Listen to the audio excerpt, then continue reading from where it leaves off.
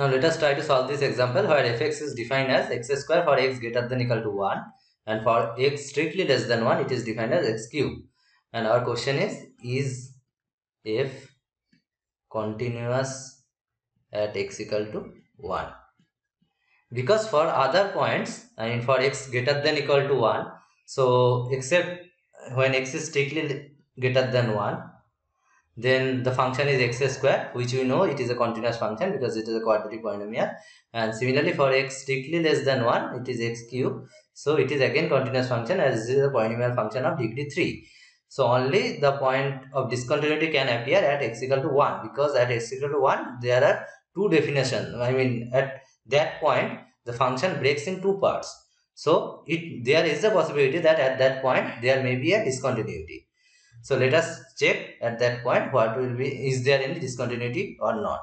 So we'll check limit extending to 1 plus. So we are approaching 1 from the positive side of 1 so from the right side. So at that point basically we are approaching uh, towards 1 from the x greater than equal to 1 portion. So the definition of function is at that portion is nothing but x square. And we know that x square, this is a polynomial function. So as we are approaching towards 1, the functional value will be approaching towards 1.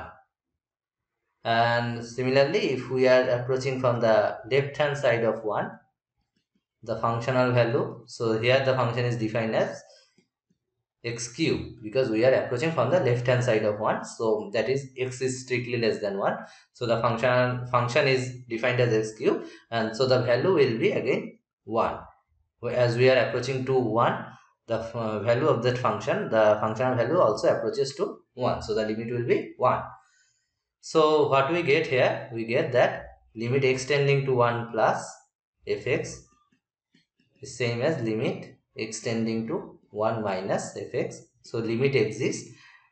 So we can write limit extending to 1 fx and that is nothing but 1. And what is f of 1?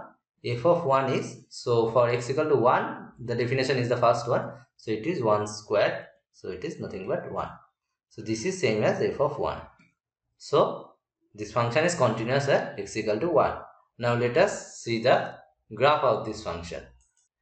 So we can see that for x greater than 1 the function is from x square and for x strictly less than 1 the function is a part of function is a part of x cube the curve x cube. So we are approaching from the both side from the right of 1 and from the left of 1 and let's see how the limiting value approaches to.